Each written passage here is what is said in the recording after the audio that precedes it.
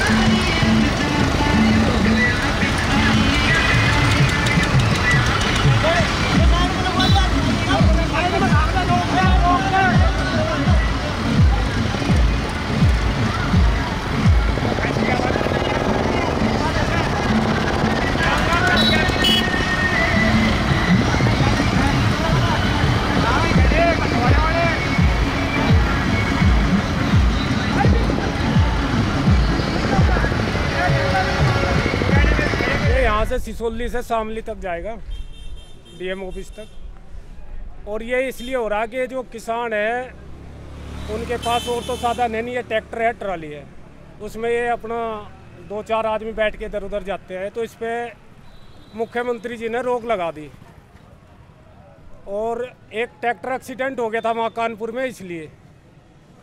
Accident तो train के भी होते हैं, उन वे भी रुकनी चाहिए। बस के भी एक्सीडेंट होते वो भी रुकनी चाहिए।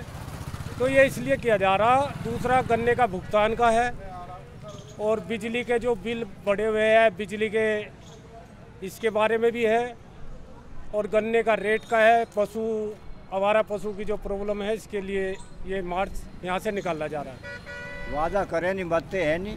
इसलिए मजबूरी है, फिर खड़खड़ावेंगे, क्यों नहीं निभा रहे? अब लोग पिछले साल का बकाज मिलता, किसान एक मजदूर है अब जब किसान को उसकी फ़सल का दाम भी नहीं मिलेगा, क्या करेगा वो? परेशान होगा, उसके बच्चों की फ़ीस नहीं जा रही, लड़कियों की कोथड़ी नहीं जा रही, ब्याह शादी तो होने का मतलब ही नहीं। तो ऊपर से महँगाई महँगाई ने कमर तोड़ दिया जब किसान को उसकी फ़सल, कीड़ा खा गया इस फ़सल को, जो कहने मैंने गंडे हुए थे, आमदनी पेमेंट हुआ था वही जो है दवा में लग गया, फ़सल रहेगी आधी। आ जाओ यहाँ सीख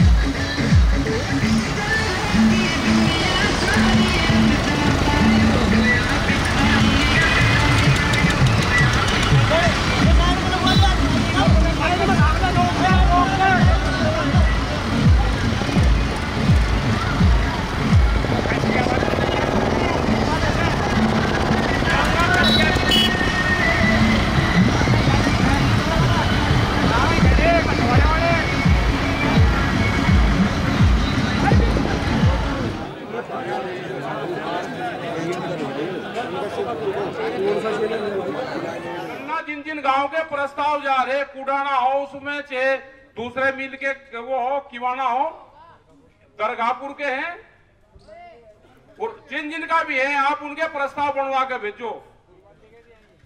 वे किसान, उनके वहाँ कंटे लगने चाहिए, चाहे अब के शुरुआत हो जाए, पन पन सत सत कंटे लग जाएँगे, कटना शुरू होगा।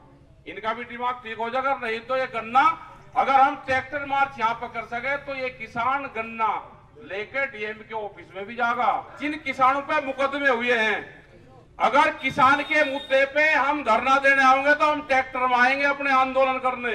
कोई थाना क्षेत्र अगर मुकदमे दर्ज करेगा, चलान काटेगा, वो थाना क्षेत्र भाई, बस की व्यवस्था कर दे, हमें बाद में उतर जाना, बरात में जाना कहीं पे भी जाना, हम ट्रैक्टर में क्यों जाए भाई? हमारी व्यवस्था कर दे।